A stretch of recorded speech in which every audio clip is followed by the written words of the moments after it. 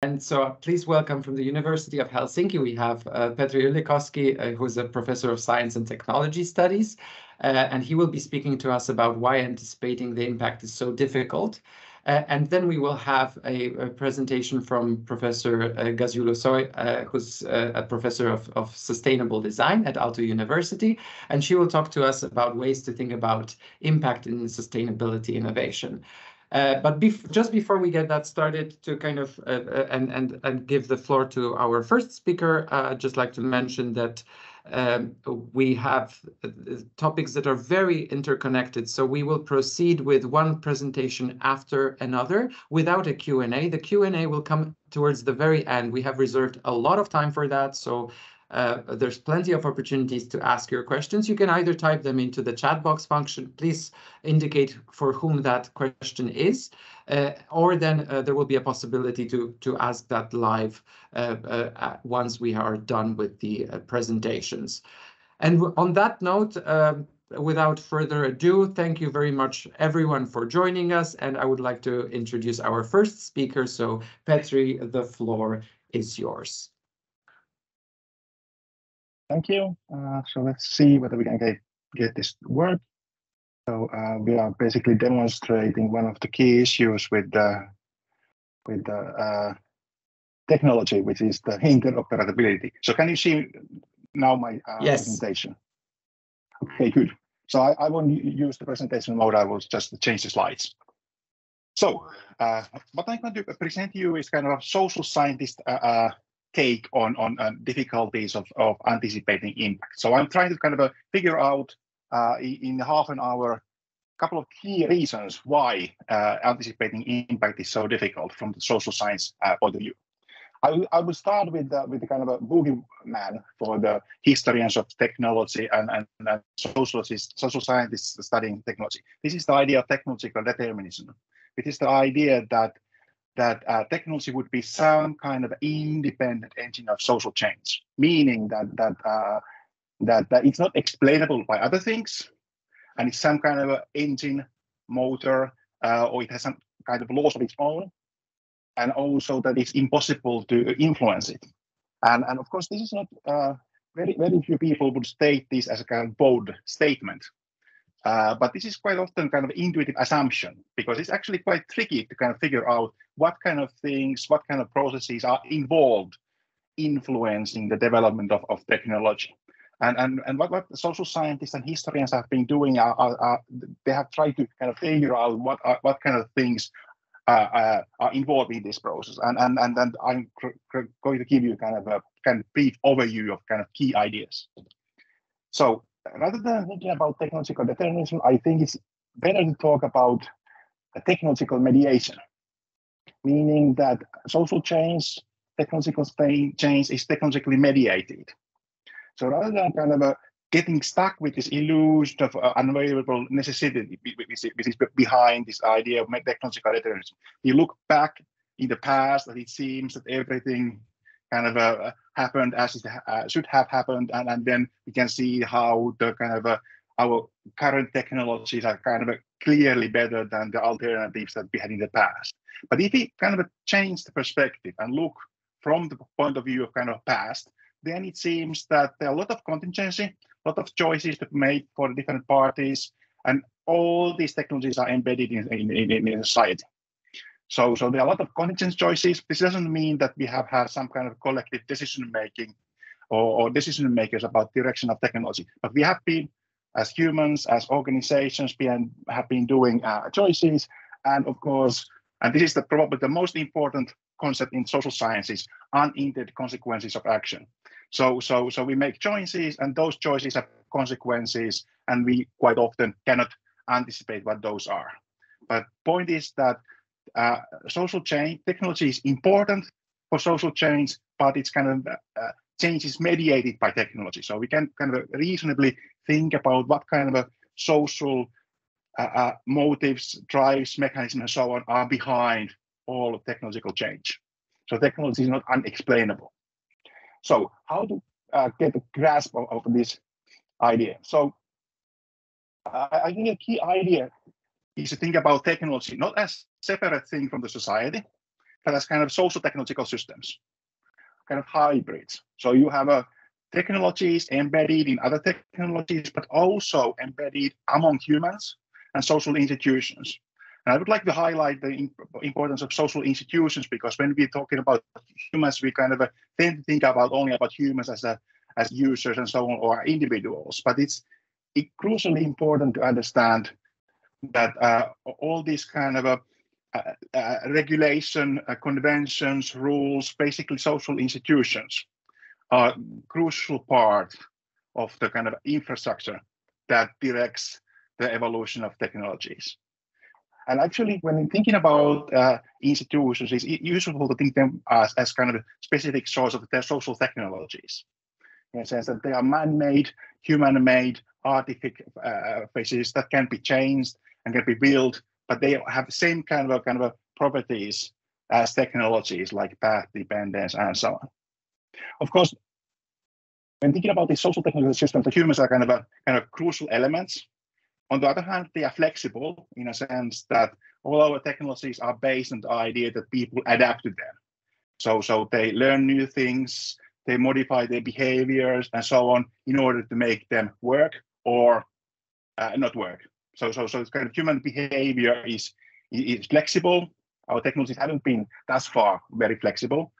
Uh, so humans being being being kind of doing the uh, adaptive part. But of course, humans are also fickle in, in a sense that that we might not like things, and it's quite often unpredictable what kind of things we don't like, and how we will react to things. So things, for example, how how we think about uh, uh art. Now we have now uh, kind of a cool technologies for creating artificial art that seems to be technically better than human-made.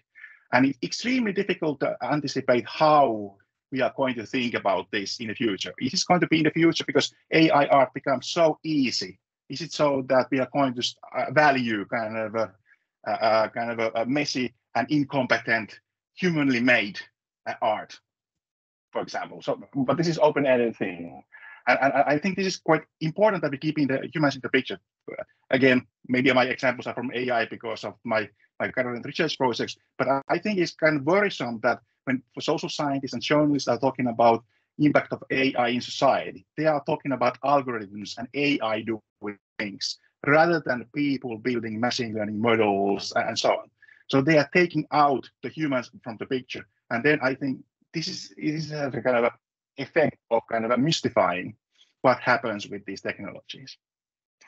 I, I don't want to go to the uh, uh, different elements of these, these hybrid systems. I just want to point out that apart from the technologies, we have all these social institutions, legislation, standards, conventions, commercial agreements. We have different kinds of agents, companies, organizations, individuals, and these people, these agents have different roles, users, producers, sellers, and so on.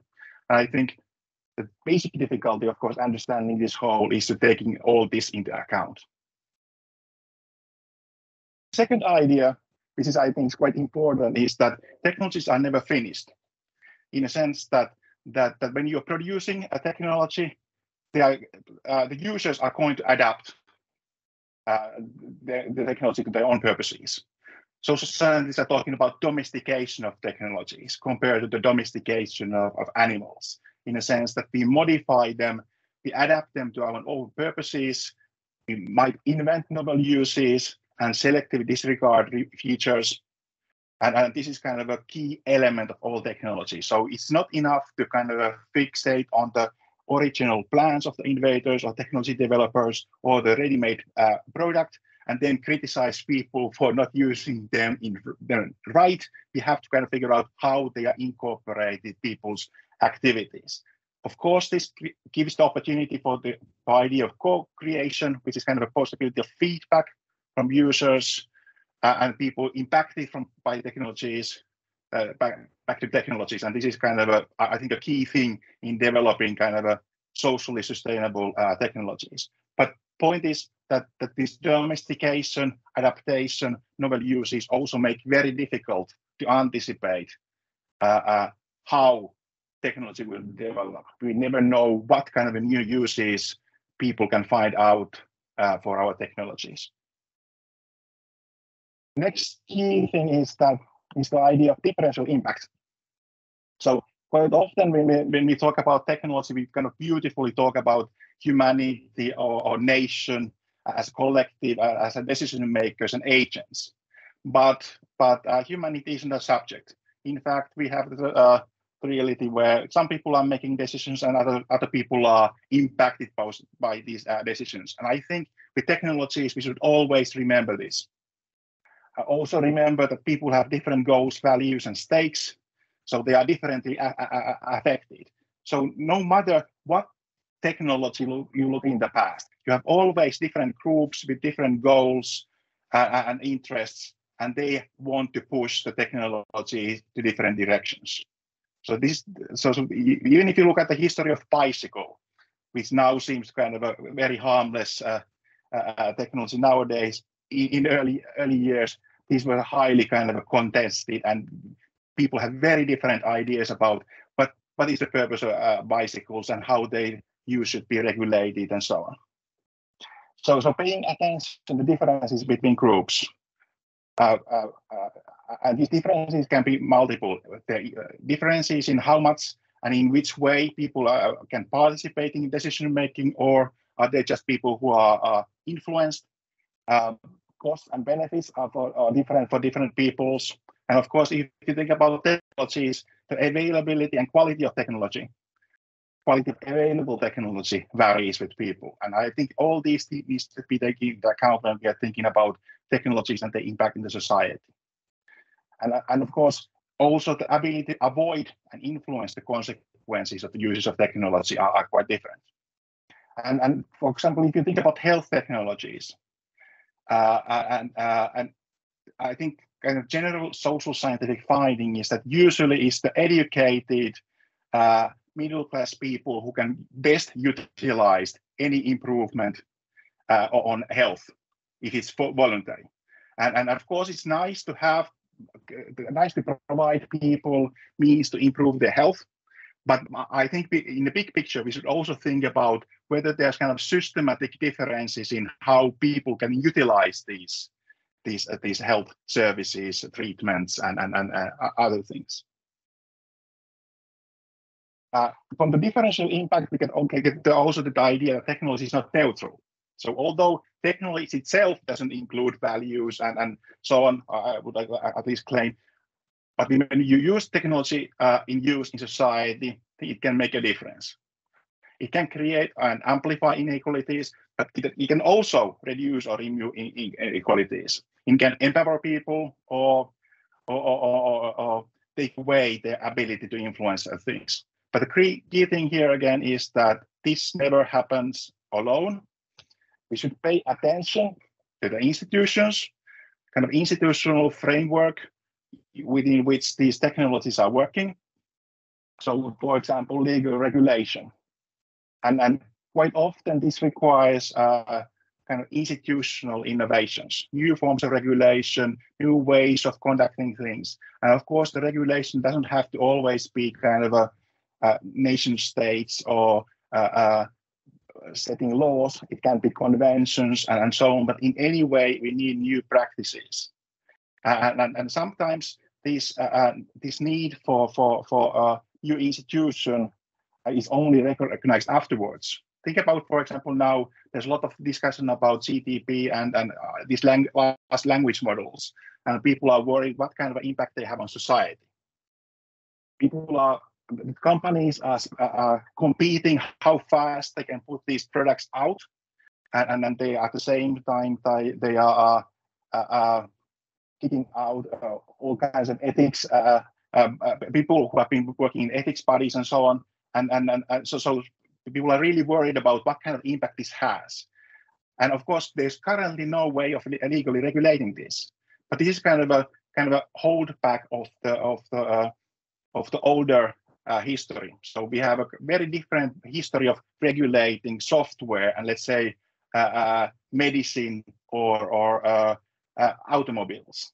For the two latter, you have to have approval and it's highly regulated before you can, uh, for example, launch new medicines or new treatments. But with the, with the software, we are kind of still stuck in the past where software was kind of meaningful, meaningless things that one could distribute and then let the kind of population but of course, currently that is no, no longer working, and we are facing the challenge of uh, institutional uh, innovation. And this links to the idea of a path dependence. So, so uh, this example of legal regulation of uh, software, I think, is a kind of example of path dependence. When the software uh, uh, industry started, it was possible to take the other way around, but then once it gets, get, things get institutionalized, and, and, and then commercial practices and industrial practices got on we became increasingly difficult to change. And now we are kind of facing the situation that we have to make a change, but that requires a lot of rethinking of the kind of institutional guidelines for the for the development of, of these technologies. Uh, I, observe that I'm speaking much faster than I anticipated, but maybe that leaves us more time to speak. So this is kind of a, my final kind of point, take-home message, which is about the role of trust. So, so uh, uh, when you're thinking about a question, do we trust in science and technologies? This is kind of a, a quite typical question in, in, in tech questionnaires and so on, and then people give varying answers. But I, it's important to think about what does it mean to trust science and technologies? Does it mean that we trust scientists and engineers, that we they are well-meaning and that they are competent? Does it mean that we trust government and its ability to regulate what happens? Or uh, does it mean that we trust in the private companies involved in a specific area of technology uh, does it mean that we trust our, our, fellow citizens? And think about, for example, this example of GMO uh, uh, uh foods. So, so, so clearly, people have issues of trust, and they are not very kind of good in articulating whom they are not trusting. But I think it's key thing that we have to have trust in the whole chain, because basically people opposing these foods is partly kind of expressing the uh, uh, lack of trust some parts of this chain that includes the science, government, companies, and other uses of this technology. And and the, and then the, and they might distrust the competence of these parties or their motivations. And, and, and, and I think this is a key thing to keep in mind when launching new uh, technologies. Uh, being open about the uh, limitation of the technology and and and and and, and, and utilizing other means to communicating and kind of expressing uh, people what we are doing, what are our goals, so that they can actually uh, uh, have a trustful relation to us. And trust is not just kind of belief that we want to, people to have. I think we to think about in terms of the, uh, that that people should be uh, justified in trusting us. So it should be fact about us rather than just their belief that they trust us. Uh, and then if you think about, for example, this uh, GMO example again, people have expressed a lot of crazy ideas about why GMO food would be dangerous and so on. And I think uh, there are good case to be made that that uh, in these cases, when people are in, in questionnaire, uh, when they are interviewed, they are very bad in articulating the proper reasons for their distrust. So they kind of come up with the kind of a, a, a plausible sounding uh, uh, uh, explanations, which which somebody might call hallucinating. Uh, um, but but point is that we shouldn't take the expressions as face value and think, okay, these people just don't know what they are talking about. I think we should take seriously the uh, expression of distrust and then kind of figure out whether they actually have just wrong beliefs or do they have a, or, or, are they actually uh, expressing some sort of a distrust in this chain from the science, to government, and the companies, and so on. And of course, uh, trust is uh, slow to build and easy to lose. For example, in Finland, quite often we hear that Finland, Finns are trusty, and that's why we should do all kinds of experiments, for example, Finnish, with Finnish data. But I think that's a bit risky because it doesn't take that many uh, uh, uh mistaken uses or, or misuses of data, and people lose this trust and then this resource is, is, is uh, lost for very long time. I think this is a good point. Finnish And, and thank you. We can continue on these themes on, on the discussion. But before that, uh, we will have a Idil's uh, presentation. Thank you. Thank you very much, Petri. Uh, very, very good note to, to, to, and message to land on uh, towards the end. Idil, you have, the floor is yours. Thank you. I am uh, going to share my screen along with the uh, desires and whims of uh, um, teams. So it's happening. It's happening. Yes, getting there. Um, now I think we are there. Yes. Yes. Excellent. Uh, so I'm going to start my timer uh, because I don't want to talk uh, more than my fair share. And um, I'm actually much more interested in uh, in the discussion that we're going to have after my talk than my own talk. Um, so I I'm Idil Gazi and I'm professor of sustainable design. Um, I'm a sustainability scientist and a design researcher, and I'm going to talk a little bit about ways to think about impact in uh, sustainability innovation. Uh, in parentheses, responsible sustainability innovation, because um, there are also myriad ways of uh, of doing sustainability innovation irresponsibly. Um, so, moving. Yes. So um, I decided to start with the kind of core central question of IBEX. Um, essentially, um, uh, as designers, one of the first things that we do is we look at the brief, and then we start to kind of unpack that. Uh, it's it's part of both analysis, but also creatively interpreting the brief. So old habits don't go away. so I thought, hmm, some playful framing uh, could actually be interesting uh, for the purposes of, of my talk. So um, how do we develop technology and whole systems that maximize positive impacts while minimizing harm? We have seen this also at the very beginning of today's uh, today's session uh, shared in Simon's um, presentation. So this is this is the question that we have, the kind of high level question that we have at hand. And then I, I thought, okay, what is really kind of what needs, what is begging attention for, you know, uh, further exploration? And I have underlined these three kind of parts, technology and whole systems, maximizing positive impacts, minimizing um, harm. Um, so first thing I thought was okay. Uh, I I'm a, as a sustainability scientist, I'm fairly uh, uh, I think well trained about systems theories. Um, but uh, you know, I, I don't really understand when there is a reference to whole systems. Uh, are we talking about an apple as a whole system, or the entire universe, or anything in between? So I was like, okay, hmm, this needs to be unpacked. And though as I was doing this tinkering, I realized that there is this technology and whole systems that kind of um, made me realize this assumption that we are going to develop technology no matter what and whole systems. Um, and I actually really want to, to open space for questioning. I know I am also trained as an engineer. Uh, so I know that technology development can feel like a raison d'etre of uh, existence. Um, but I moved to design because actually that resonated with me a little bit more. Uh, rather than you know thinking about okay we're going to develop technology we were more thinking about okay what is the need here what's the human need uh, what does the society actually you know what kind of a function uh, does the uh, does the society uh, require in this particular context.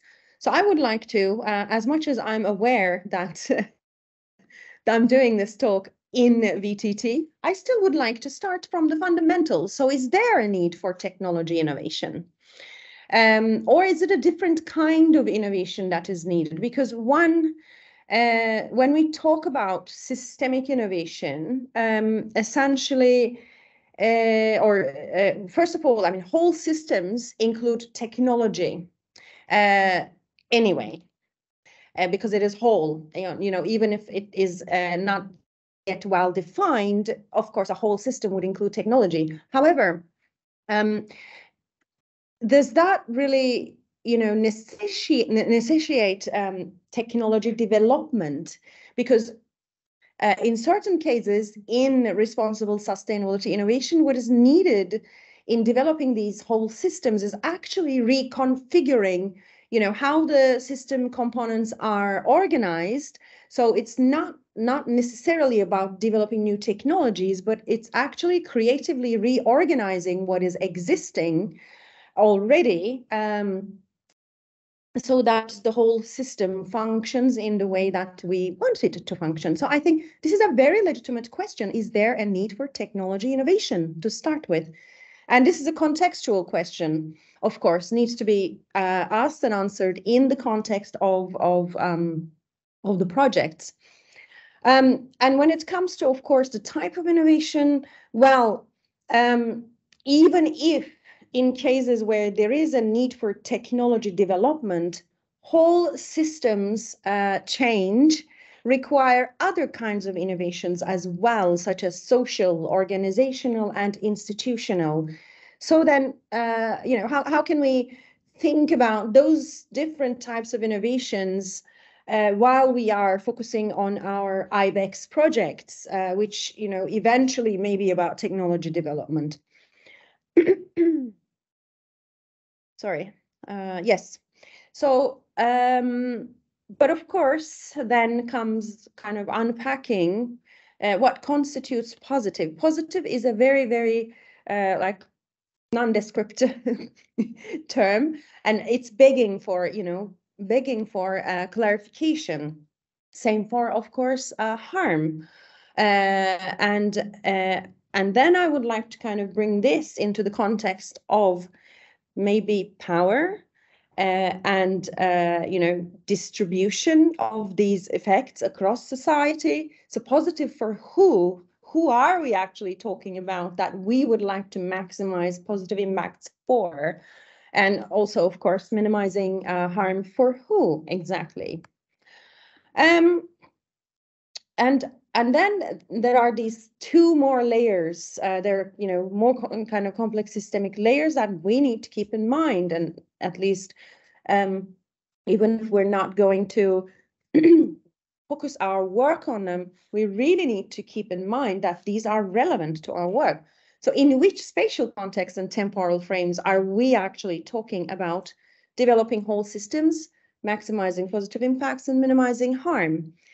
And who is asking and answering these questions uh, and you know what is the position of of that who in this whole um, in this whole uh, uh, endeavor? Uh, it, i'm assuming it's us. I don't know who us is. Um, but what is our positionality and what does that mean? Uh, this kind of reflexivity i think is also very important while thinking about impact in the short term and the long term and also in the micro and macro levels uh, of our projects. So um, have all stakeholders to be impacted been included to frame and evaluate impact? This may not necessarily be practically possible in all cases, but I think thinking about this while we think about you know how we are going to uh, evaluate impact uh, is is really important uh, and always keep in mind that there are stakeholders who are voiceless and cannot really be kind of included, you know, in framing and evaluating impact, such as future generations and more than humans. What are we going to do about them? So as a sustainability scientist, uh, of course, when I think about positive impact uh, and harm, uh, I frame it in the complex of sustainability, resilience, and justice. Um, so, uh, well, we need to uh, reduce impact, and that's about mitigation, and that's kind of, you know, about minimizing harm to a large extent. Um, and then adapting to already locked in impact uh, is both about kind of maximizing the available positive impact uh, while also minimizing harm. And then justice is doing all of this ethically um, but also with a long-term uh, orientation. So then, um, how do we consider the complexities of the polycrisis moment we are in when thinking about impact? Uh, because it may not actually be as simple as maximize positive impact, minimize harm, because we're not quite able to frame uh, what is actually positive and what is, uh, you know, uh, harm uh, precisely, and also over the kind of temporal frames that are applicable to our projects. And then how do we bear an account for the uncertainties we're facing uh, in thinking about and creating impact? Very kind of closely connected to the previous question because uncertainty and complexity go hand in hand. And then I was thinking about, okay, whole systems, whole systems, what do they consist of? Um, and I wanted to bring forth uh, the kind of, um, you know, the models of uh, uh, whole systems uh, that relate to sustainability. And I, I wanted to kind of uh, um, also show the two um, fundamental models, weak sustainability, strong sustainability, and uh, and kind of issue a warning that most of the time um, we work with, we operate with without necessarily consciously knowing and we also evaluate impact uh, uh, using weak sustainability model, which assumes that um, that these values in these systems are kind of um, comparable and you know uh, kind of replaceable with one another. And most of the time at the expense of environment and society because we're very you know economic uh, um, kind of we're focused on on um, the, the, the health and well-being of our uh, neoliberal economic system. Um, whereas uh, in reality, there are irreversible kind of hierarchies and interdependencies between these systems and economic systems are societal, you know, social constructs, we make them. Uh, whereas uh, biosphere uh, we unfortunately, in a very, very vulnerable way, totally depend on. So then the questions I kind of wanted to put forward uh, was how do we model the systems we will have an impact on, and how do we model our systemic impact, considering uh, strong sustainability um, as our kind of more, uh, you know, base model of understanding um, sustainability. Whoops. Then comes uh, the uh, most amazing traditional and still dominant superlinear um, uh, impact assessment model, um, which I, I, I remember uh, when I maybe started university, this is uh, year 1995. Um, we were using these graphics and it's like, hey, uh, we're in 2023 now uh, why am I still looking at this uh, exactly uh, the same graphic of inputs, processes, outputs, outcome, impact, and everything is linear and progressive, of course. Um, uh, so I, I would like to um, kind of, you know, of course, I, I I'm aware that there is a um, a quite uh, uh, in-depth understanding of the limitations of this kind of uh, impact assessment model. Um, but nonetheless, I, I really wanted to, you know, emphasize that this model is not working for uh, for the complexities that we are dealing with when, you know, our projects have numerous components across multiple dimensions of um, systems and uh, targeting more than one intervention point at a time, uh, etc. So um, I, I, I, really would like to maybe encourage uh, development of, uh, you know, development of uh, how are we going to evaluate our impact with um, with the feedbacks that are there, uh, as well as uh, you know the different types of impact that we would like to maybe um, evaluate because there's not one type of impact, in my opinion, in this. You know, this project will, of course, um, have some outputs which will have some real life impacts. But is that the highest priority thing we should focus on? Uh, what are we going to learn uh, along the way? And actually how that learning can transform me as a professional, can transform my organization, can transform the world. So there are all of these amazing, you know, complex layers of impact that we can uh, think about when we are uh, thinking about how um, how to kind of think about impact in relation or in the context of iBEX projects.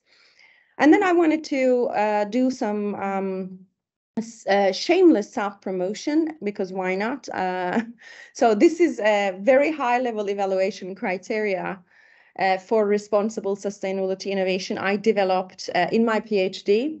Um, uh, so I, according to uh, according to this model, I thought that strong sustainability, systems thinking, radical innovation, long-term orientation, and mindset change are quite important. Uh, but just opening up maybe a couple of things that may not necessarily be obvious. Radical innovation is not radical technological innovation, radical innovation at the systemic level. So radical uh, kind of, um, you know, uh, uh, recombinations uh, of uh, assets that create a new system or, you know, new systems uh, that are radically different than what we have now. And long-term orientation, long-term again, is not about um, five years, three years, kind of 2050. Uh, people were looking at 2050 in 1990s when they were thinking about sustainable technology development. And that stuck. so we're still looking at 2050, and 2050 is like tomorrow. Um, and I would like to remind us that um, you know sustainability is about the nominal lifespan of of uh, the operational kind of contexts that we are interested in the sustainability of. So as a human being, you know, lifetime expectancy wise, if I reach 75 years uh, of age, I will be considered as sustainable.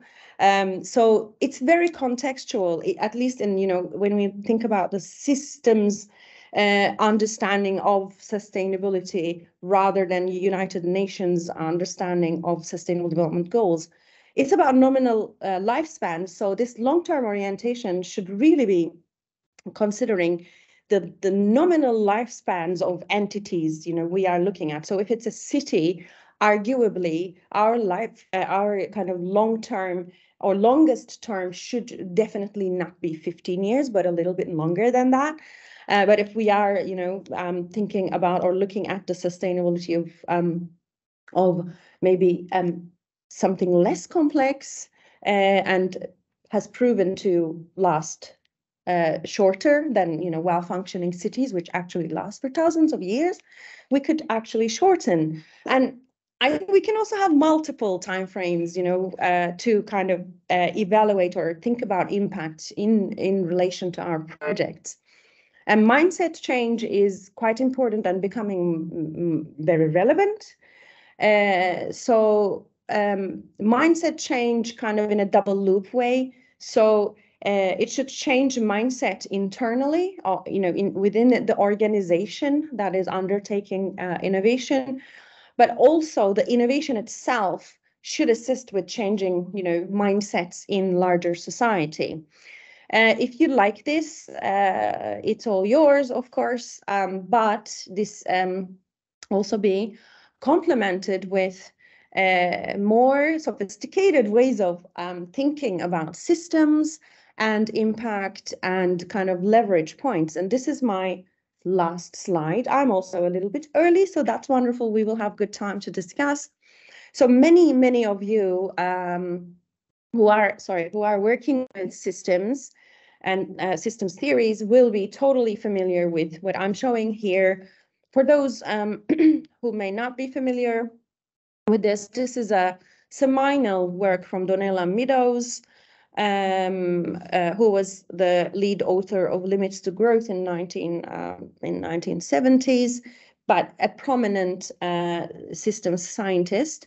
She developed this kind of um, theoretical framework of leverage points to intervene in a system. Initially, there were nine points, uh, and then it was expanded to 12. I think the numbers are a little bit, you know, arbitrary. I am sure there are also incrementally um, indefinite number of inter leverage points across. But anyhow, the, the very important kind of insight from recent research in sustainable science had been that both policy and research have been focusing on shallow leverage points, uh, whereas the society needs to transform, um, you know, kind of uh, much more radically than can be achieved through intervening shallow leverage points, um, and in a in a kind of uh, short uh, short period of time, that transformation, at least some of it, could you know should uh, should happen. Um, but then it's also very normal that we are focusing on shallow leverage points because they are, you know, easier and more concrete. Um, so then the question is, uh, you know, how can we engage uh, and and work with deep leverage points, uh, both in creating and assessing impact, um, because I mean, admittedly, not all of us, maybe not many of us, will sit down and think about kind of direct interventions into mindsets and worldviews. Um, but uh, this is not a linear model. Many people read this as a linear model. This is not, there are feedback loops. So we can actually intervene at parameters level, but it might have the potential to uh, you know to to influence leverage points at the deeper levels. So can we can we have this kind of um, of um, leverage point thinking when we are, uh, you know, thinking about um, about our our impact uh, in in iBEX projects, but also in uh, broader uh, professional lives. So um, I reached the end of my talk, and this is essentially what was prompted by the high level question of iBEX. And uh, I'm really you know thankful because it gave me a lot of kind of stimulus to think about uh, impact in the context of responsible sustainability innovation so uh, thank you very much and i am now going to stop sharing my screen Thank you very, very, very much, Idil, for that uh, that uh, presentation, and Petri also. Um, we have plenty of time uh, to have our discussions, which which Idil was very, very um, excited already about. Uh, so uh, let's let's open the floor for questions and comments. Please raise your hand, uh, and and then that would be the easiest uh, way to ask a question.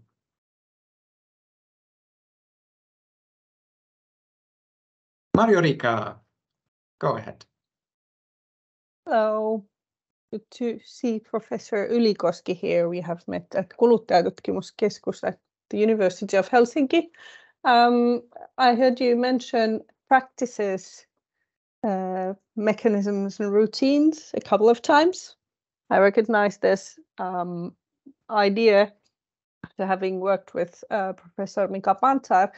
Um, I would like to ask from you and perhaps also from Idil, uh, because this intrigues me. How do you um, how do you make up the tension between the routines and practices and then this kind of a great paradigmatic change and innovation that like may come every 10 years or 20 years or something like that? How do you how do you um how do you balance them? How do you explain them? What is your take on that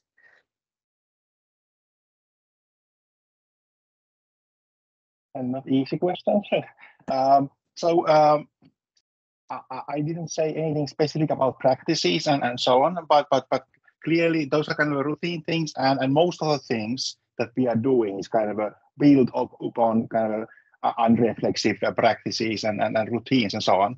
And so when we are changing things, we have to think about how we're changing things that we that, that we are doing and kind of readapt our, our routine. So so we cannot kind of a it's like a, um, I think this is this is uh, it's useful to think about uh, routines in the same way as we uh, think about building up skills. Think about learning to play something. When you first learn the the kind of a play guitar, you have a difficulty controlling your fingers. But then, as your capabilities uh, uh, uh, grow, you you can start kind of thinking in terms like like a, uh, uh, Uh, uh, uh, notes and, and, and charts and so on.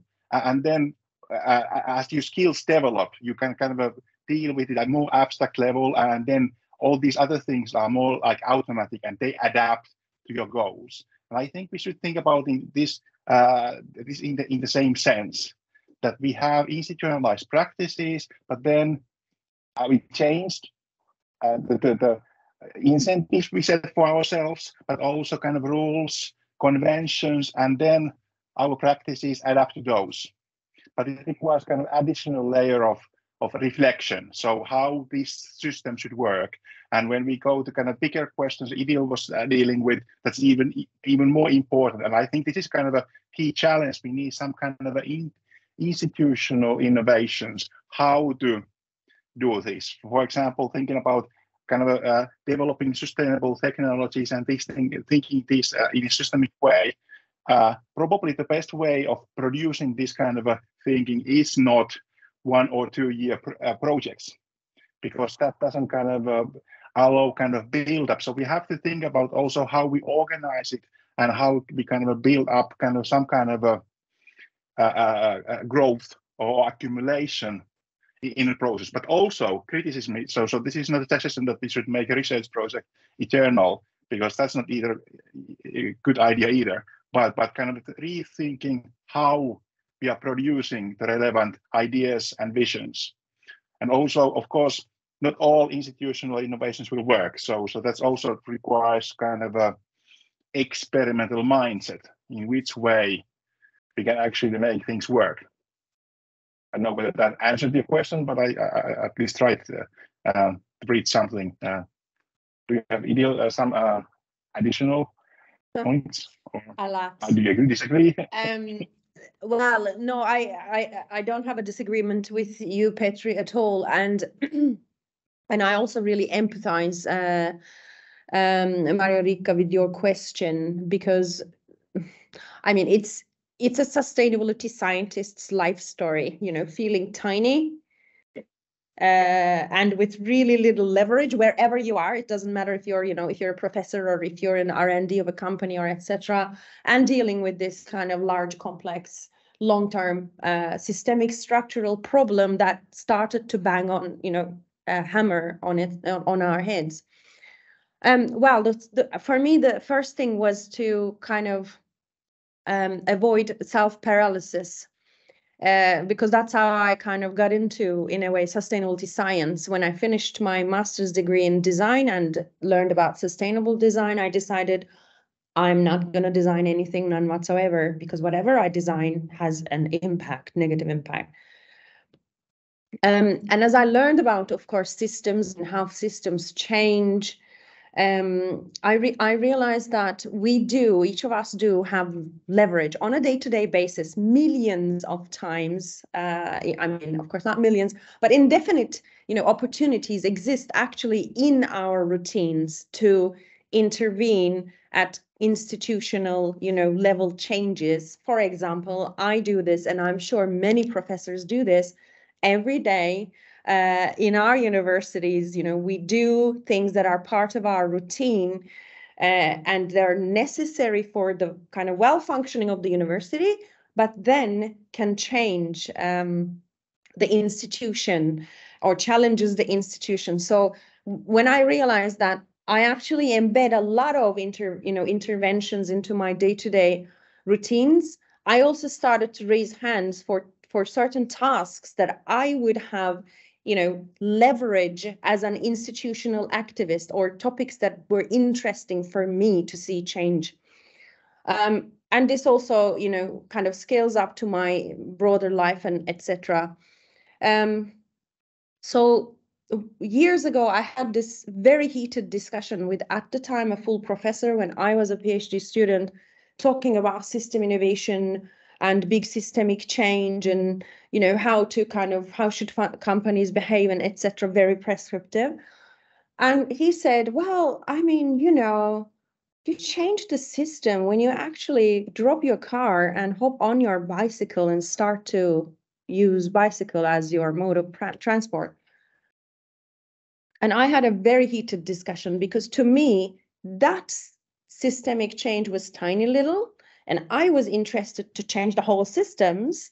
Uh, but now I actually appreciate the fact that I do change the system because I am, you know, cycling. Um, so it's also changing the perspective of how we see our leverage and how we see our power as well. Um, yeah. Thank you. Thank you. Um, we have a follow-up question from Zeynep. Uh, both Idil and Petri, can you point any concrete examples of intervening in deep leverage points in the context of technology innovation? Which actors are involved in implementing this type of intervention? Who would like to go tackle that? Well, I can try. Uh, I'm sure it's going to be a very um, misguided and misguiding uh, answer. But to start with, I really do not think that technology innovation does start can start or even should start with an ambition to intervene in the deep leverage points. Um, I think the other way round of that is if we are kind of interested at the deeper leverage points, how can we think about technology innovation and you know strategize about technology innovation is a better way to think about that in my opinion. Um, uh, because deep leverage points is, you know, it, it, they are, uh, they're not, they're not tangible leverage points, uh, but they're very powerful leverage points to reframe the shallower leverage points and how we work with them and how we, um, you know, how we how we allow them or allow them to guide our technological innovation efforts. Um, and also, I have not witnessed any technology developing entity uh, going, you know, and thinking, oh, deep leverage points. Uh, how does this look like at deep leverage points? Um, I think there are different cultures also at operation there. Um, so this is not a direct answer to your question, uh, but I do think that we need to kind of turn it around and you know start with the deep, deep leverage points and then look at technology innovation through that lens and then think about okay how does this look like at the shallower leverage points as technological innovation Okay, if I continue, uh, of course, I'm not so much inside the of these leverage points, but I think if you think about, for example, environmental uh, uh, reaction, uh, uh let's say climate change, so, so the uh, solution doesn't that doesn't work is to kind of rely on that everybody changes their personal mindset and then as consumers do something. So, so these things require organized actions. We have social movements, uh, states, and and things like that. And so, so it needs to be organized action. It cannot be just, and that's why I kind of kind of a little bit skeptical of mindset being at the bottom because, of course, in a certain sense, it's a deep because it kind of motivates how we how we think how the system should work and so on, but also kind of a might be quite shallow, like this kind of a consumer uh, mindset. Uh, but but then uh, other thing, uh, uh, this is probably the kind of things you can plan. But think about, for example, open source software. I think that has kind of quite dramatically changed how software is done and uh, and and and changed how the, the industry operates. And that's of course not has not been kind of planned uh, action, but I think looking at how it can, can implemented and how it transformed uh, the landscape of of, of, of, of, software, I think that is one kind of instructive example of how to have a kind of a, a deep uh, uh, impacts on how do we develop technologies. Mm. Um, if I can add just a little bit of a you know further thought i think it's not you know easy to talk about technology innovation at the level at deeper leverage points but i can give a very concrete example on technological innovation that's essentially unfolding now that is absolutely uh, uh, you know um, short-termist and operating at shallow leverage points and that's the push that's going uh, at the moment into diffusing uh, electrical cars. Um, of course, it's a very important transitionary, you know, uh, solution. But on the other hand, I'm not really seeing the deployment uh, being strategic enough to lead to actually the mm, the uh, much more, you know, um, uh, radical uh, mobility system change that actually is needed, in my opinion, to address sustainability, land use, climate change um, problems. Uh, with you know with how how this uh, transitioning to electric cars is done is happening uh, in a way that is creating quite kind of you know long-term lock-ins and pathway dependencies essentially. You know all of this infrastructure is at the moment um, being developed a lot of investments going into it.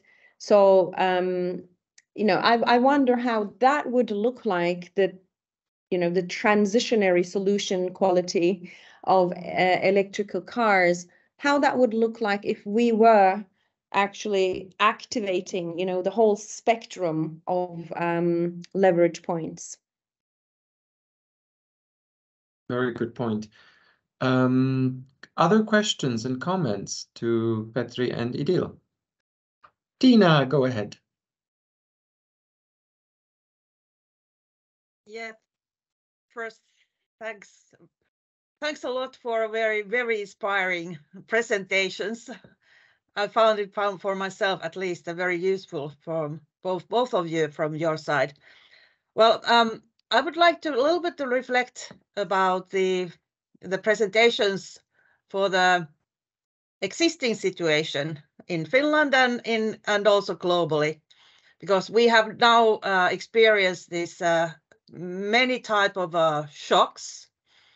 And I like very much what was mentioned by Petri that uh, the question of trust.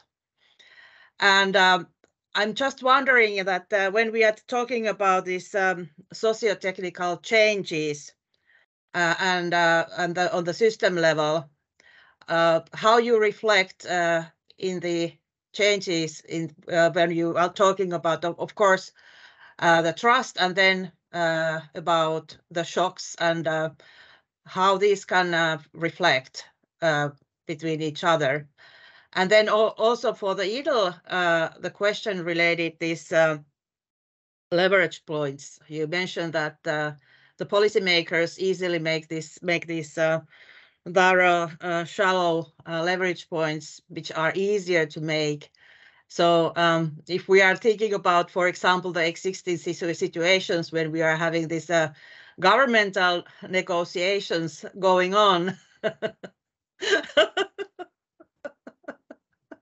any reflectors because that will have also huge impacts uh, for the coming years in, in Finland. Not the easy question, but maybe some ideas.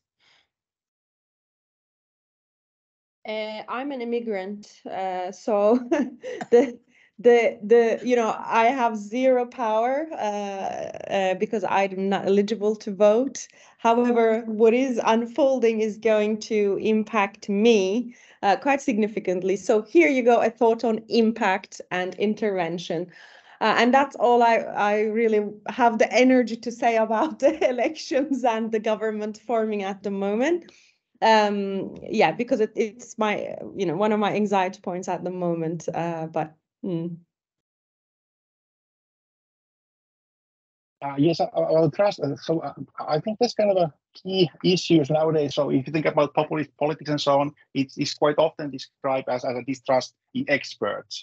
And of course, uh, that's kind of a byproduct of the fact that we are more and more using experts. We have, haven't been relying, we have never been relying as much as experts as nowadays. And of course, these quite often, uh, uh, when things are uh, uh, sticky, sticky uh, and difficult, then we kind of tend to argue on the point, of position of expertise. And, and I think we should think about in which in which occasions we actually are kind of appealing to facts and when we are appealing to kind of values and other things.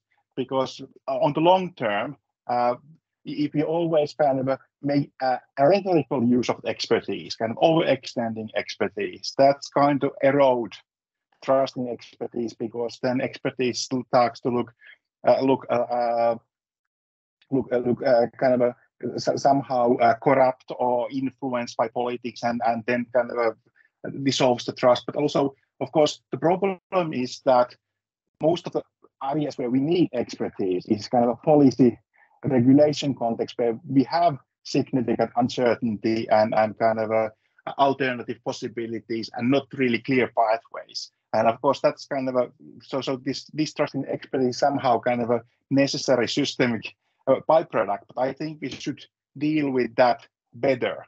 So we shouldn't just take for granted that that experts in at the state offices, the THL or somewhere else can just know or just set things. But this is extremely uh, tricky, tricky uh, thing. But I, I think we should uh, uh, uh, think more about how to preserve kind of cognitive authority where it is justified, but also not in terms of just people trusting us, believing that we are trustful, but actually being worth of that trust. I think that's a much more uh, more demanding uh, task. Yeah, thank you very much. I'm just a little bit uh, like uh, following my thoughts uh, because, for example, when we were having this COVID period, uh, EU made this kind of surveys that how much the policymakers are trusted between each, each like different EU countries, and and it was recognized that uh, at least in Finland, the trust for the policymakers during that time was very very high. But uh, I think think that there's also very like um, cultural differences are very uh, high as well between these kind of uh, trust things. and uh, uh, yeah, this is something that need to look at, I think, more carefully. Yeah, thank you. I, I also would like to add, uh, because I'm kind of triggered as a transdisciplinary researcher and who thinks about what is legitimate expertise in a given context quite a lot. Uh, you know, this term expert is used quite vaguely, uh, even by, you know, academics themselves. So I think there's also a need for, um, you know, discussing who is a legitimate expert to kind of, you know, uh, um, provide trustworthy expertise in XYZ contexts um, yeah, I, I think that's also from a democracy point of view, it's very, very important. Thank you, Idil um, and Petri. Um, we have a question uh, just uh, from Max before we go to Katri. I see your hand up. Uh, Max wrote, I see some changes in examples research uh, um, uh, programs over the last years in including impact assessment in the project requirements from LCAs to interdisciplinary research and so on. Would you be in favor that impact assessment should be part of any applied research project, or do you think this will hamper tech innovations? Or do you see any other ways to change the mindset in applied research to more consider the impacts of tech development and work interdisciplinary on solutions which solve the challenges we face? And Max opened his camera, so so maybe turn on his camera. Maybe you want to you want to take it over. Yeah. Yeah, yeah, I, I think that that's it. Basically, uh, I've been working sustainability research uh, the last 15 years. I see those changes, but I don't think it's enough yet in a way. So how, how would you describe that over the, the, the history, but also what, what the future needs, basically?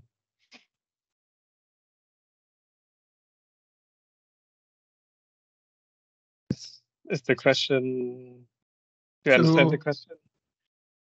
The, the question is a bit tricky in the sense that I don't exactly know what how it has been implemented, but but based on on my kind of a kind of a probably analytical thinking uh, of other cases, it's, it's kind of a kind of a two ways. So so if you make it obligatory and kind of a shallow part of every project, that might not be very productive.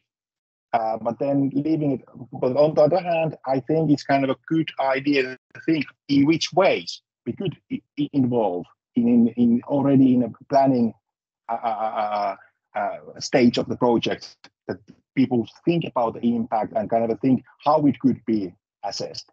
so, so, so I, I think it should should be incorporated with how to do it because some it might become just empty ritual and then it's not very useful. It might be even harmful because then people think that okay, we have taken care of this. no, no reason to think about it anymore. Uh, but, but but but then how impacting? So this is again kind of an issue of uh, actual uh, social innovation. Which ways to actually do it? But but, but it should be, I, I think, uh, inside projects from the planning period. But, uh, but but then how to implement it and kind of uh, enforce it into very different kinds of projects. I don't have any kind of a ready solutions there.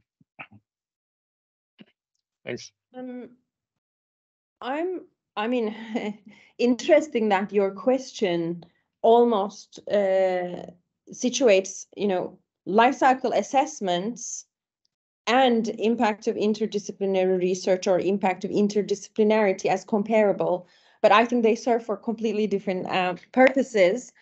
Um, so I can't answer, you know, the general question of is impact assessment uh, should, you know, it should be part of applied research because what kind of impact assessment are we talking about? I believe if, uh, I mean, this, I guess there's no way to say yes or no, you know, as an answer to this question. Again, very contextual, um, but um, um, I, I mean, I do not think, and I don't think there is evidence, strong evidence that suggests that interdisciplinarity hampers technological innovation. Uh, it might kind of, mm, you know, uh, result in development of technologies uh, in different kind of directions. Uh, and also, um, I'm not really sure uh, what is you know, what does hampering technological innovation mean? Because I really do not come from a position of technological development is a raison d'etre of, you know, interdisciplinary work. Um, sometimes interdisciplinary work is necessary to establish what kind of technologies we need or what kind of technologies we should bring together. Um, I am personally frustrated that now there is this almost all EU funding, almost all funding uh, is, you know, pushing uh, towards executionist collaboration collaboration idea, um, and and people are forced to collaborate. Um, in the long run, whether this is uh, you know good or bad for the society, I think uh, it can it, the evaluation of this can come down the track. Um, but I understand why this is happening because we are going through a crisis moment. I'm not sure if this is, uh, you know, I, am not sure if mandating all research, you know, is going to do something in real life and is going to be collaboratory.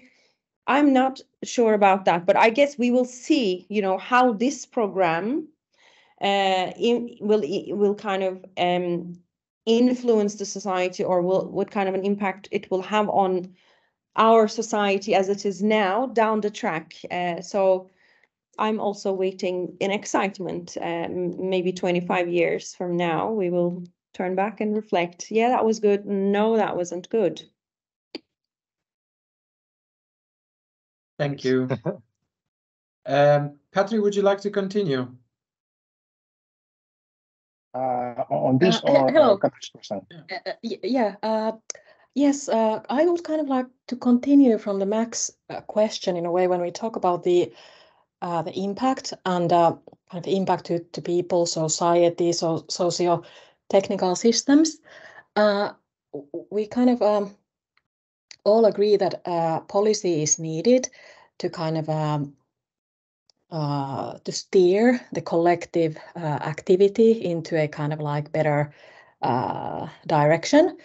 But then the the kind of the other side of the coin is that kind of like when we look um, what is the kind of the the role of of technology de developers it is to kind of you know create innovations as our business so to say.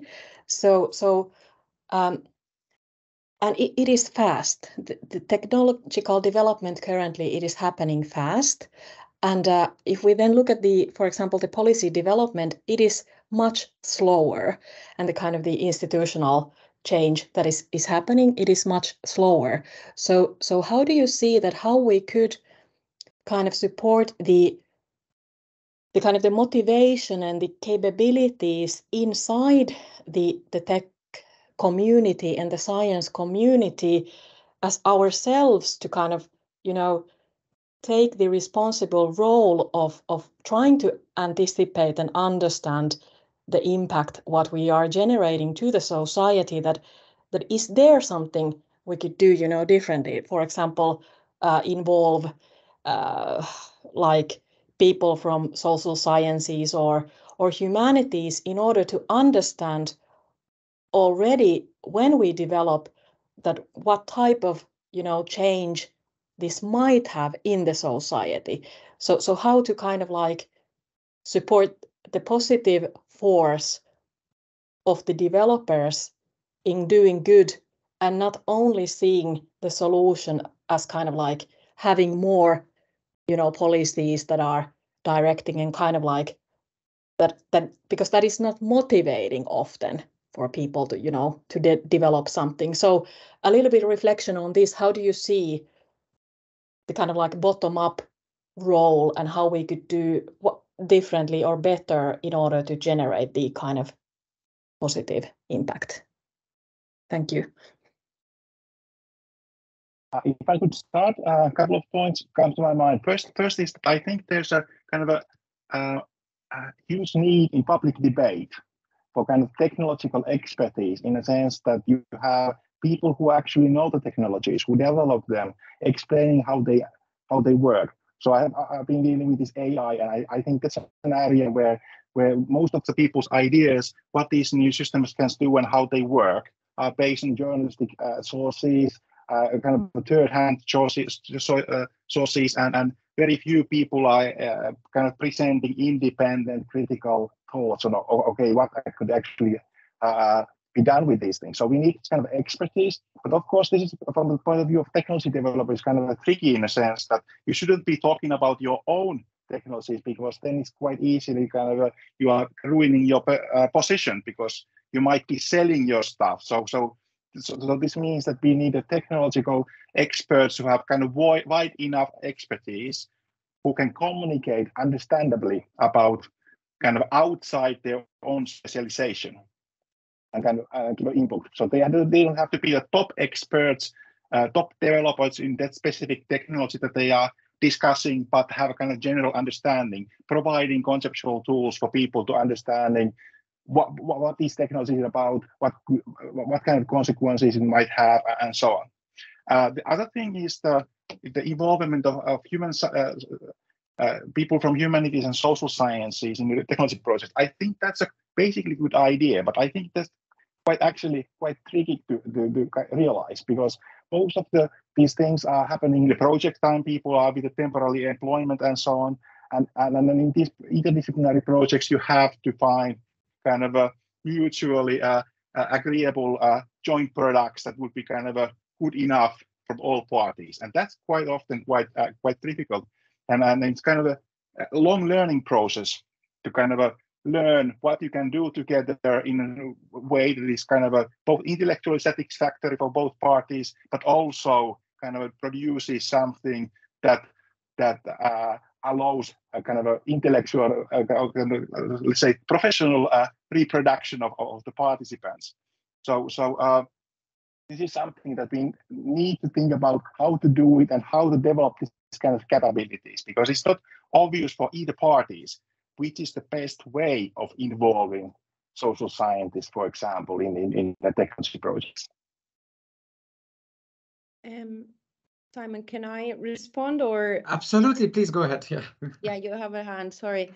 Um, well, my response to this is uh, not based on uh, um, empirical research, but based on doing research in such settings uh, where um, you know the focus is actually systemic change of some sort in in real life. Um, well, I guess the short answer should there be uh, people from humanities and social scientists? Absolutely, uh, because um, the kind of critical perspectives you know about technology development uh, comes from uh, from from there um, more often than um, than uh, you know technology developers themselves. For example, uh, interestingly enough, we have um, philosophy of science, philosophy of technology, but we don't have philosophy of engineering. Uh, that always has been something quite interesting for me as an engineering student at the time, because I did not have this, you know, self-reflection tools about my kind of professional practice area.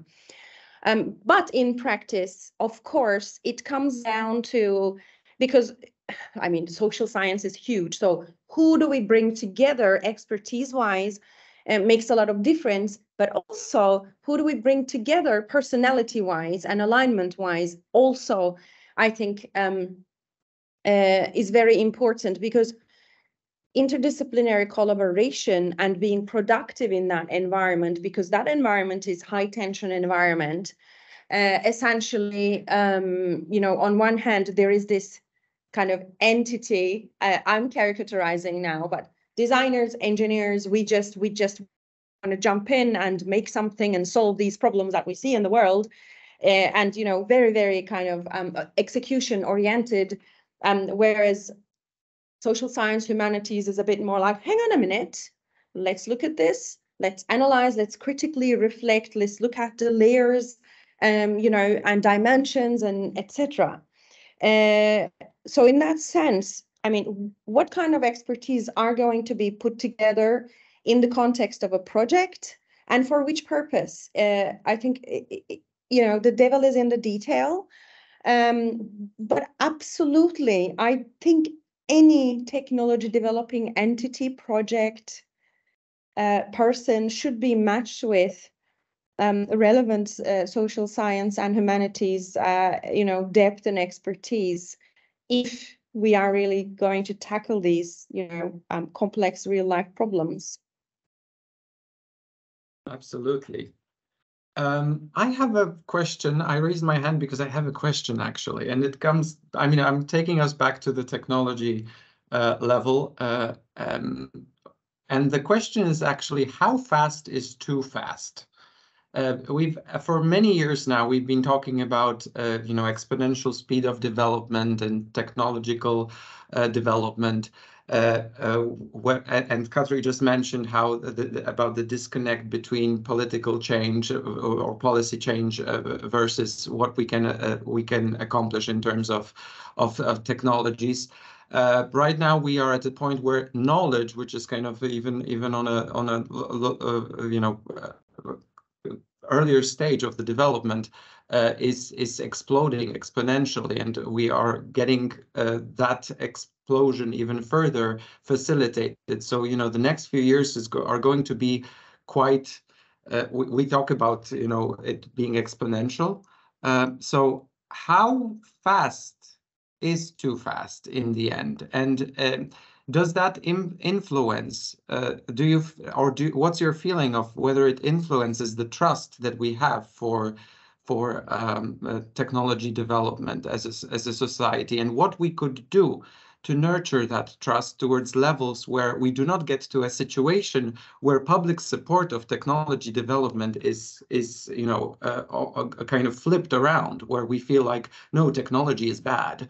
Technology is something that that we should stop absolutely.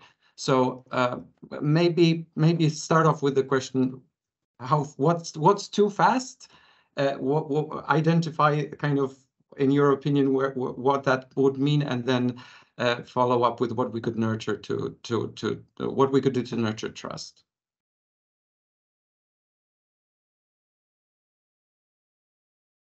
Well, you I start. Uh, uh, so, so I, I think uh, uh, this is an interesting question because I think there are two things: kind of how fast things actually are happening, and what kind of perception we have of it.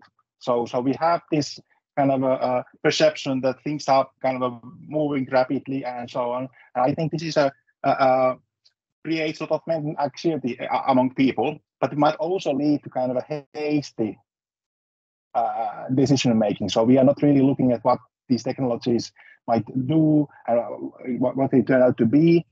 Uh, but we may make uh, hasty regulations and so on. And, and, and, and I think that's one danger. So, so I think we should also kind of need, remember that the perception, the hype we have for the technology change, that's usually mostly uh, uh, kind of uh, false.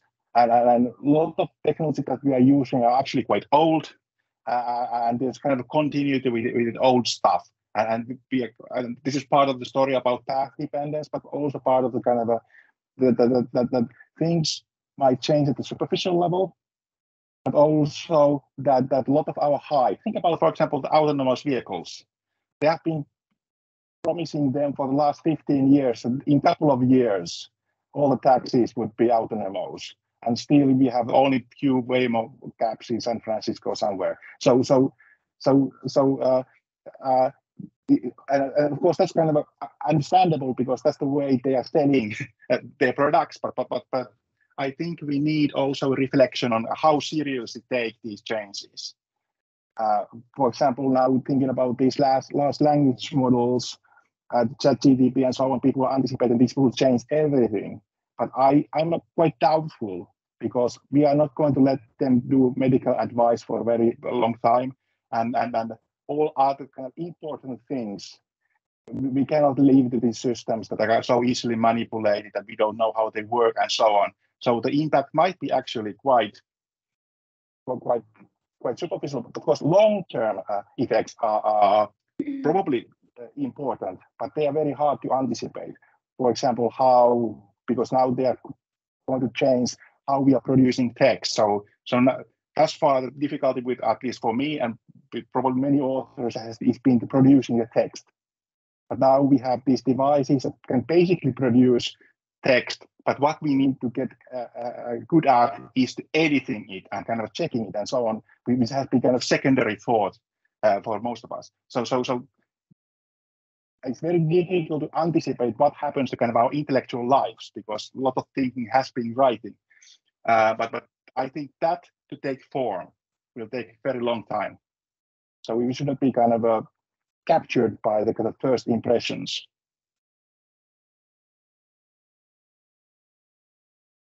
Thank you. Yeah, I, I guess my answer um, to that is more on the lines of I mean, I I I I don't want to comment too fast, too slow what we perceive versus what's in you know real life. But in general, I think we could do with a little bit more reflection as we develop these technologies. Um, so in general, again, we can slow down a little bit, uh, um, um, and you know, as we develop, we also do reflect. I think that that that's really important and this is not only about the risks that are associated with these technologies, but also about you know how these technologies can um, benefit uh, humanity world the problems that we have? How do we actually prioritize the deployment opportunities that uh, come with these technologies? Because obviously you know you have one technology but you can do multiple things with that technology. You can develop it in multiple directions and you know what are the priorities of uh, of today and etc so in general i am uh, i am definitely in pro for slowing down and reflecting alongside but collectively not kind of independently because when technology developers develop technology and then the commentators and reflectors reflecting separately you know it's again not a productive uh, collaborative space so how do we also bring together reflection and development, walk side by side in dialogue with one another? Thank you very, very much. Uh, there's a, a, question from Zainab. Uh, what do you think of the mission-oriented innovation frameworks and approaches? Uh, plus, how should the role of VTT change or evolve in the future to take a stronger role for societal transformation and impact? Petri or Idil, who wants to tackle this one?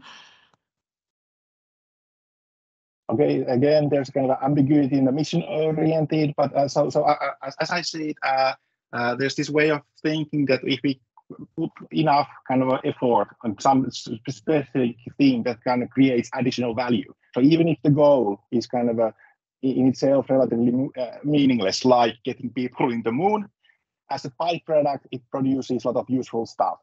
But I, I, I, think uh, I think there's some point in that. So there's no point in kind of a trying to do everything at the same time. But then on the other hand, I think the mission should have, be somehow meaningful. So it shouldn't be just arbitrary thing that it's just decided by some very vague uh, policy preparation policy at the EU level that now we have this mission of, of doing X at the European level or the same thing as uh, now we have the governmental discussion that uh, probably they are kind of uh, throwing around yellow notes where there are these ideas should be the next project. And, and, and uh, that's not necessarily the, the, the, good way. And so I think VTT should kind of uh, play a role in these debates. What would be the meaningful projects and how to kind of organize them? Think about uh, kind of a facilitation and an organization of these projects so that they are not only just VTT projects, but involve other other uh, uh, other, other participants, stakeholders, but also that the the, the, the, the, missions are somehow crucial and meaningful and and and, and in uh, somehow uh, go here with other other missions, other uh, institutions, uh, and the VTT is having. Well, um, I'm I'm also a little bit unclear about what is meant by mission-oriented innovation frameworks. Uh, are we to talking about, you know, is it the same thing as purpose-led innovation or purposeful innovation? Um, but I understand that as uh, maybe, you know, innovation endeavors that have a um, higher societal purpose uh, than, you know, innovating solely, innovating uh, in whatever way for the sake of inno innovating. Um, and also, uh, I guess I would not claim that I have an understanding of uh, the kind of the, the, the, the role that VTT is currently playing, because I believe there are roles that uh, VTT is playing and not one role. But what I, I mean, I, I do see VTT as, you know, very technology oriented, um, technology development oriented. And of course, there are many similar organizations uh, across uh, countries, across EU.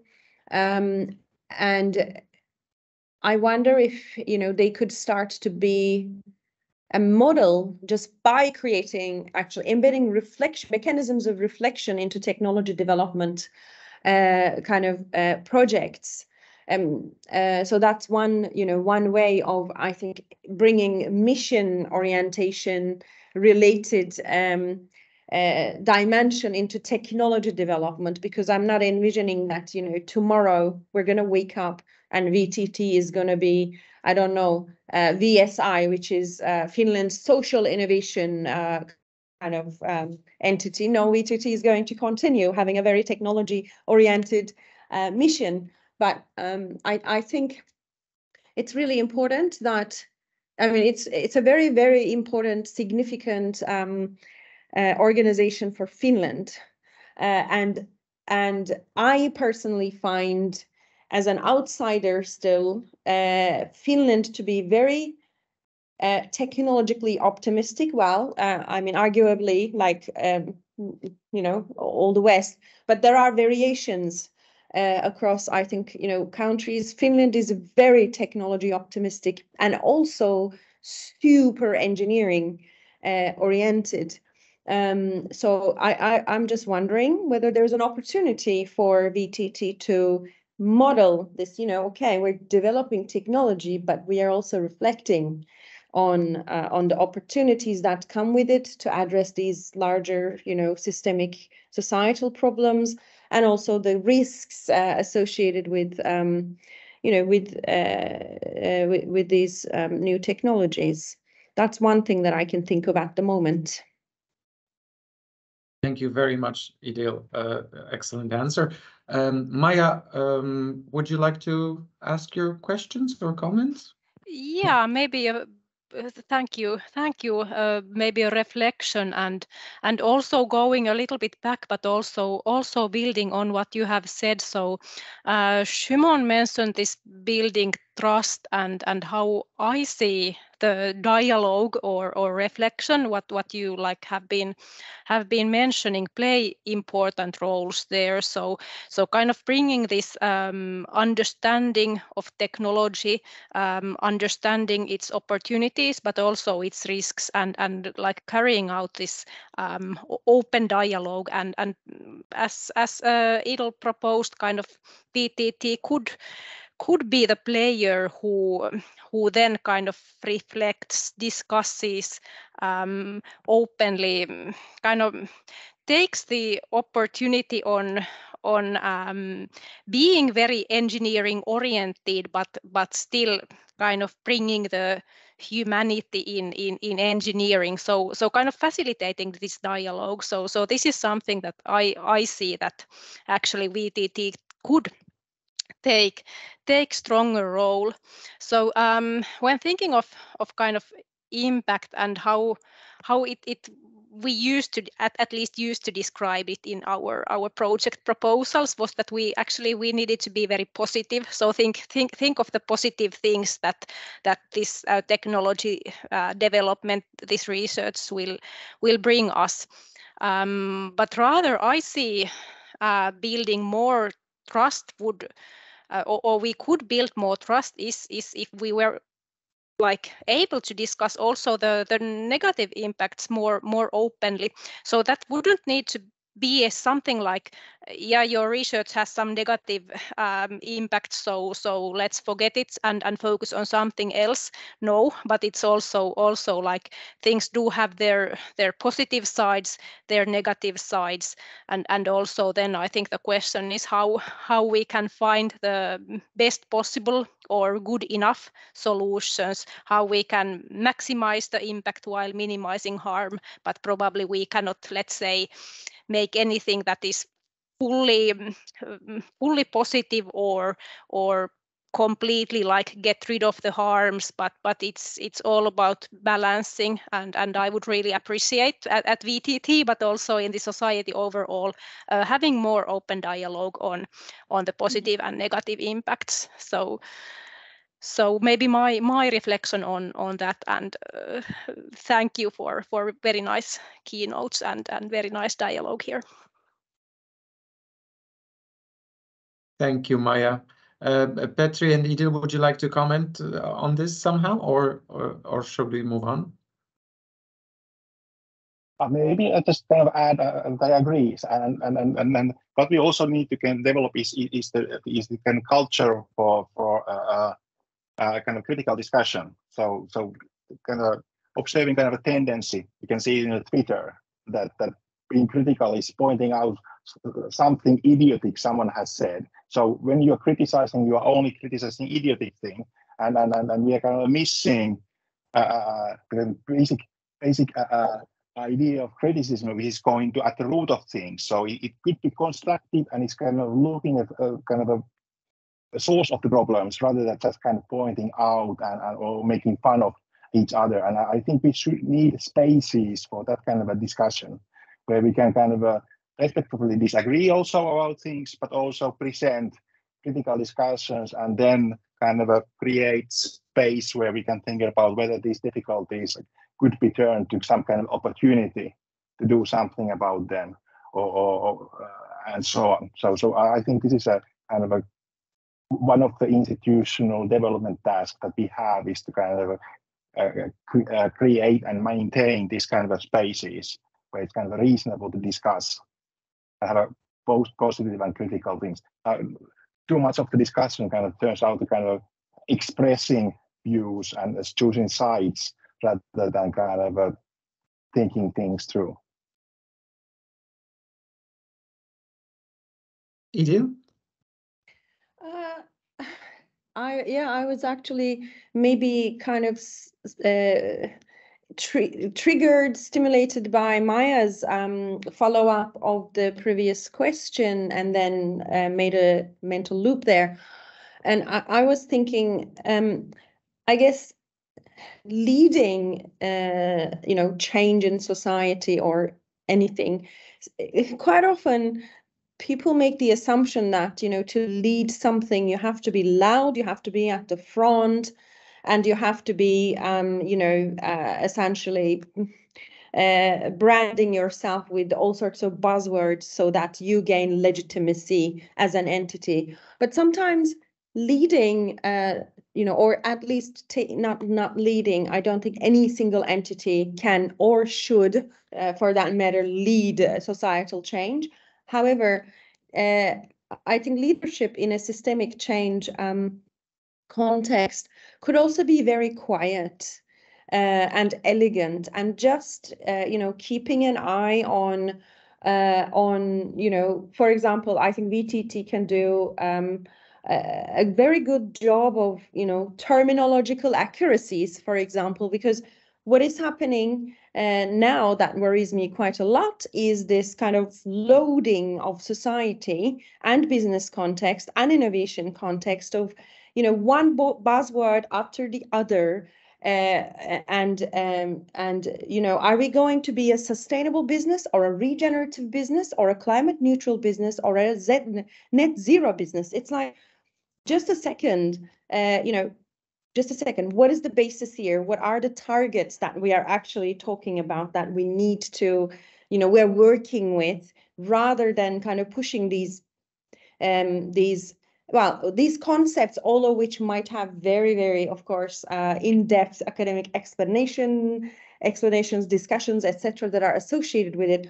Um, but what I'm maybe trying to say is also another role that VTT or a, an organization like VTT, which is for me at the very, very sweet spot of, you know, hard research and then hard kind of innovation, uh, but also uh, you know research and policy. Uh, one, thing VTT can do quietly uh, uh, as part of the you know uh, le leadership or modeling is to kind of um, you know watching how the discourse is evolving and and trying to you know maybe clarify confusions or not add to the confusions around concepts and I, don't think we need more concepts, uh, you know, to be thrown uh, um, thrown uh, onto the society, onto businesses. I think we really need to understand, you know, what are the targets, what's the uncertainty associated with what kind of targets we should go towards, um, and stop calling them, you know, all, all sorts of different things. I think VTT can, can also play a role in this, you know, in how we are, how you're writing reports, how you're doing your presentations, how you're talking about these with technology developers. So, um, yeah, another thought that's prompted by uh, Maya and uh, Zeynep's comments and questions. Thank you, Idil. Uh, Marjo-Riikka, would you like to uh, continue with your question?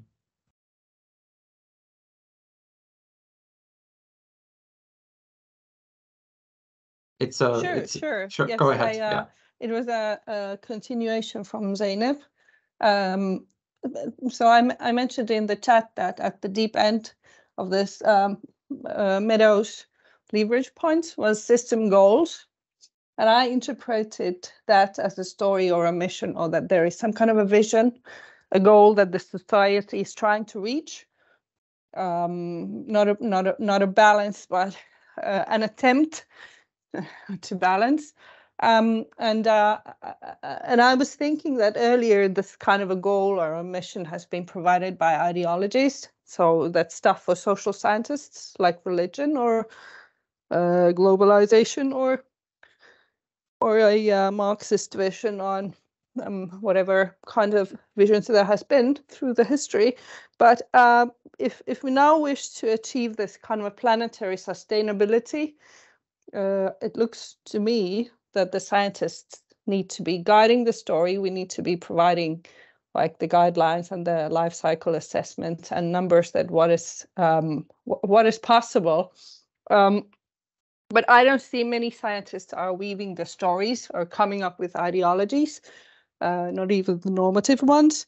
So, so um, just to have an idea, So if VTT wants to, or I as a VTT researcher want to like uh, come up with collaborations with other institutions, who would be, in your opinion, a legitimate and a trusted source for this kind of a larger story? So who who who might be uh, presenting uh, an institution that can come up with a credible goal for the future?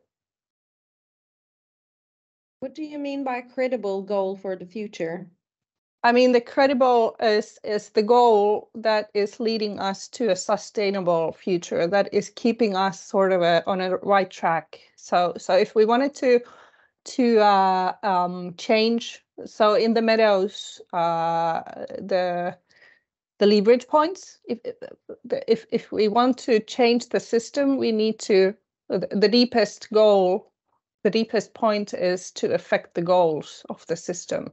So if, if the current system is unsustainable, the deepest point for, for effect is to target the goals of the current system. So we need something new instead. So, or at least we need to tweak the current story. So who would be a credible source? Uh, I mean, with credibility, I mean this trust that we have been talking about. So what, uh, what, it, what would be an institution that is trusted that can create this kind of a story and a new goal.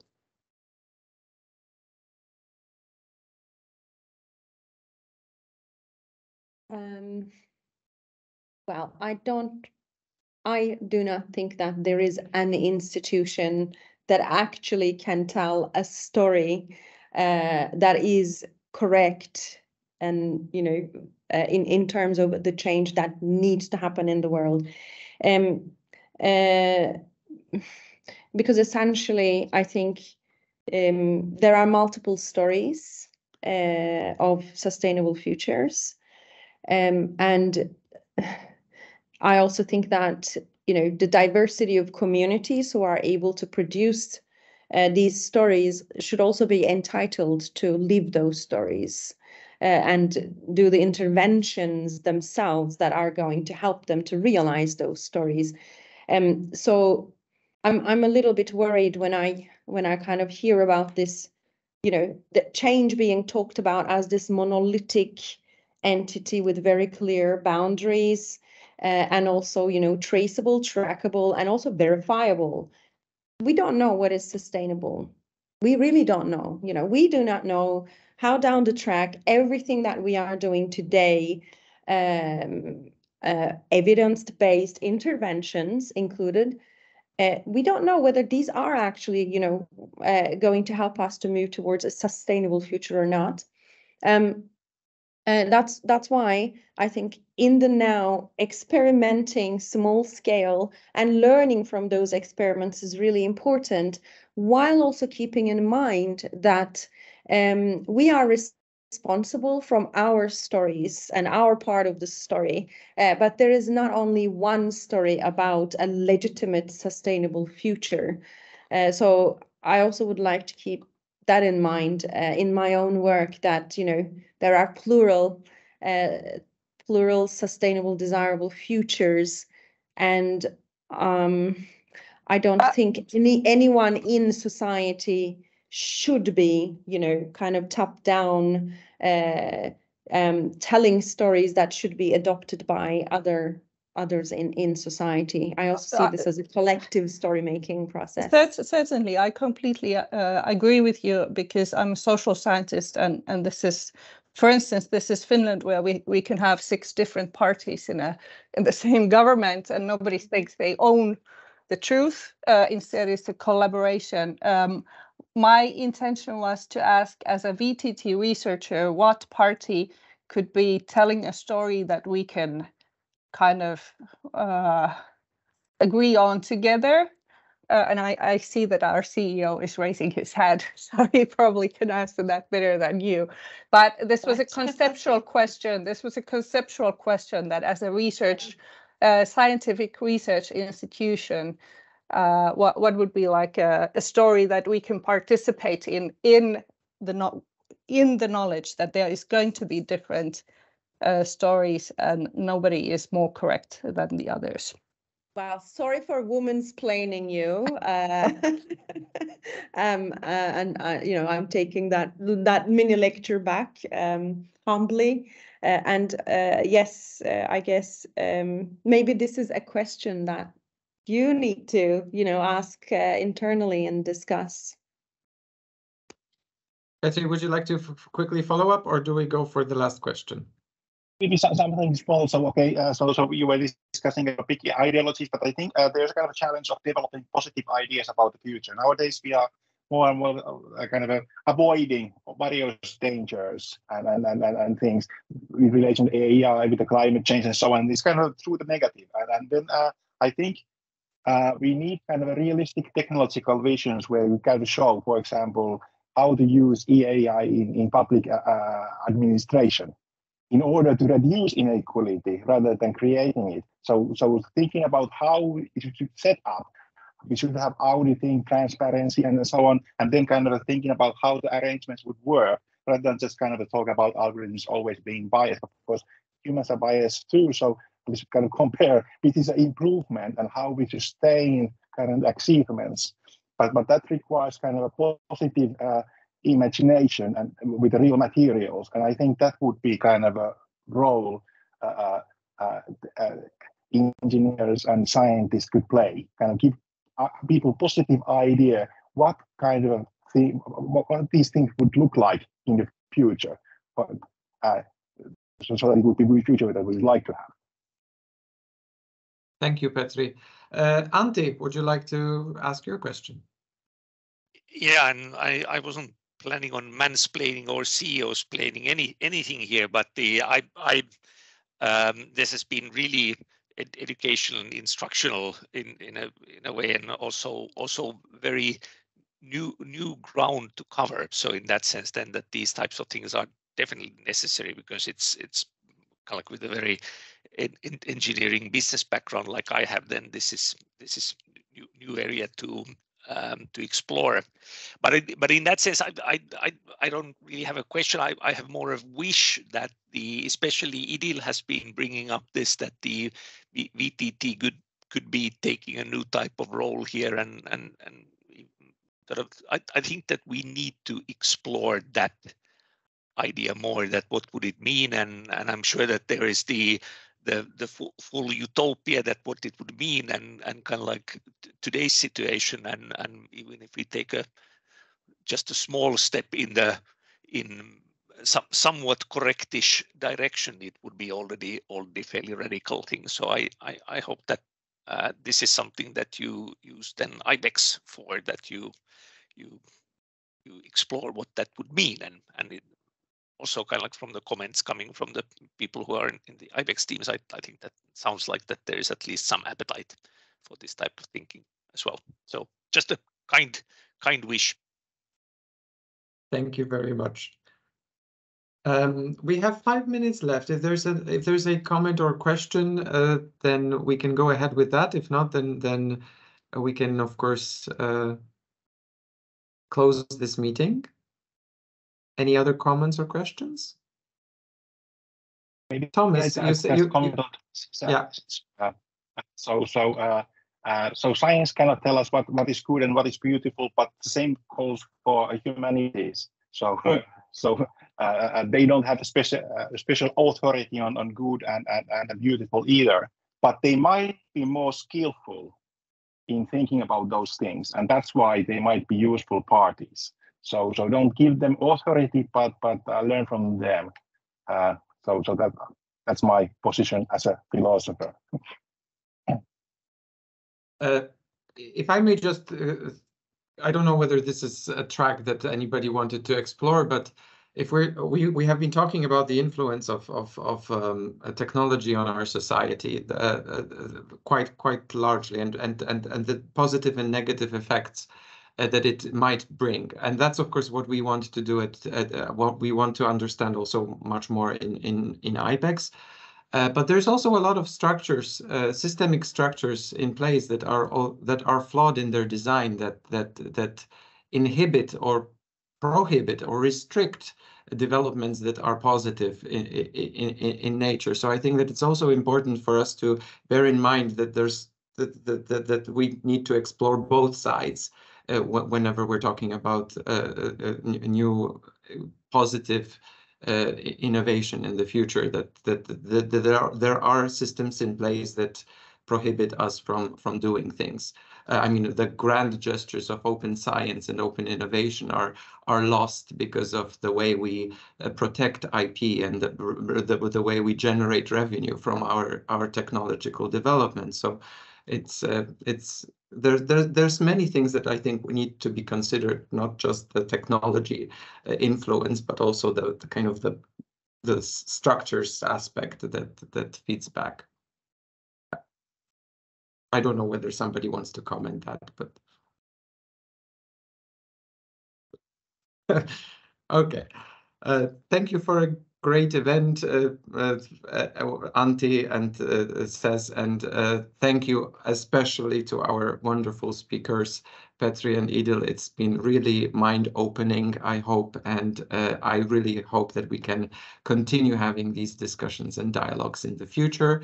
And um, I hope that you are now friends of the program and you will be much more involved in the future. And if somebody has questions that you would like to, I actually had some questions uh, prior to this event already for perhaps some sort of interaction with Petri and Idil. So please, I, I, I, I would encourage you to maybe take contact with, with Petri and Idil when, when you feel it, it, it would be productive and valuable. So thank you, everyone. Thank you to our speakers, and I wish you a lovely afternoon.